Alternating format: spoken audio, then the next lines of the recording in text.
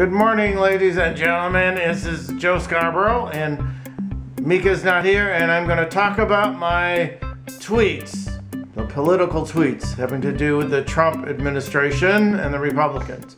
So stay tuned after this introduction.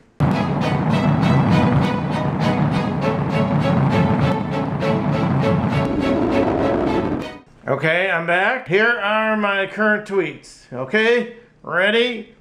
Don't laugh. And this is what I said uh, a couple days ago.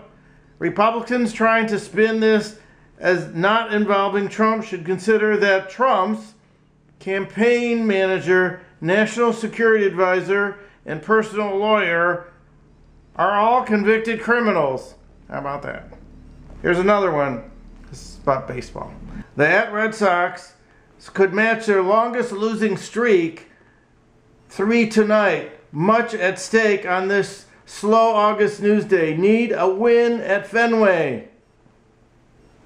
How about that? And Matt Lewis says, I've pretty much been off Twitter all day. Any news? I guess that's in answer to that. And here's a tweet from Mika. Hey, morning Mika. At morning Mika. Tweet her.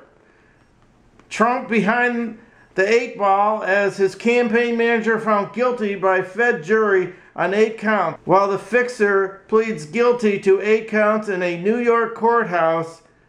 Eight is enough. How about that? I say, that's me, Joe Scarborough, a Dick Van Patten sort of day for Trump. Pound sign, eight is enough. Get it?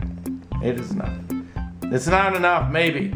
Anyhow, if you like this puppet vlog, I am one of the puppets at Cyber Times LLC Puppet Vlog. Please subscribe. The subscribe button is right over there where my hand is pointing. And all that.